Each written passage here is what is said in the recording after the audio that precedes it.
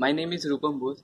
I completed my PGDM course this year, uh, 2000 in 2018, and it's been a very good journey so far in IMI Bhubaneswar.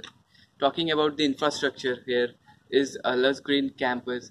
Such means such a positive energy is coming, and the ambience is totally very much helpful academically as well as personally.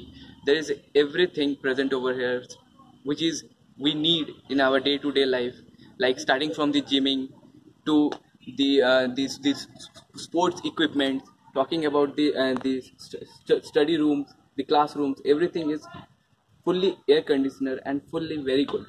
Talking about the placement this year we have achieved a 100% placement and this trend has has been continued for very long.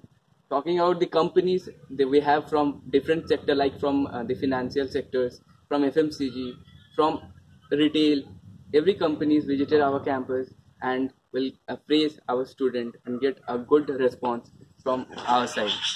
Talking about the faculties all the faculties now the faculty strength have already increased. It's been increased to 18 and if all faculties are well experienced they have um, have a very huge um, experience in their career. They also I mean, focusing on the research paper all the all the faculties publish their uh, research paper in the very good journals.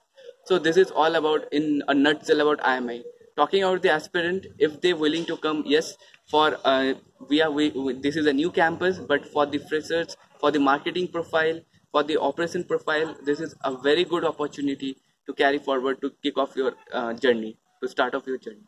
Thank you